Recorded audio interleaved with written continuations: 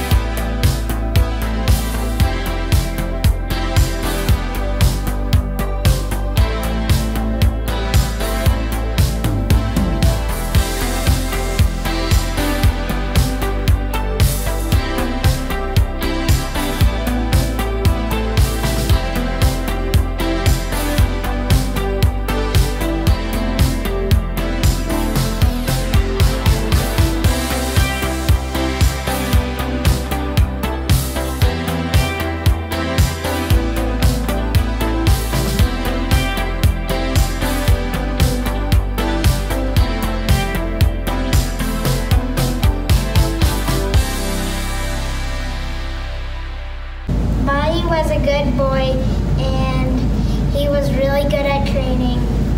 And um, I taught him some commands and he listened to me very well.